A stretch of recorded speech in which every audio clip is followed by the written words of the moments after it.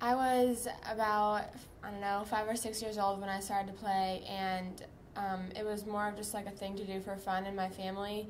And then when I turned 11, I started playing more competitive, and I kind of got into it a little more.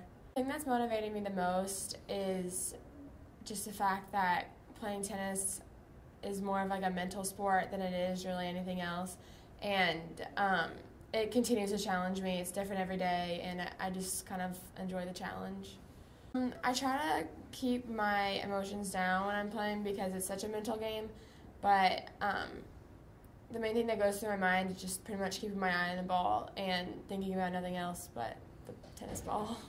Um, before a match, I either like jump rope, I drink Gatorade, and I listen to music.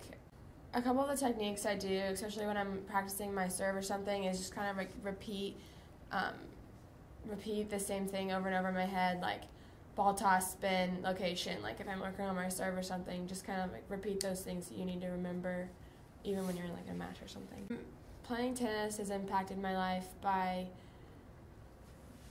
teaching me lessons that you don't you can't learn anywhere else besides I mean besides in athletics. I mean in any sport really you can learn how to deal with like the mental struggles. But um, tennis is definitely one of those sports, like I said earlier, that's just I mean more mental than anything really.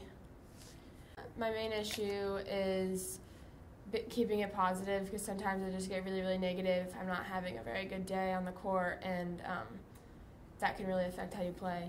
Um, I definitely want to place in state. I want to go all state these next two years, and um, if I can, I want to get into a D1 college and have some of it paid for.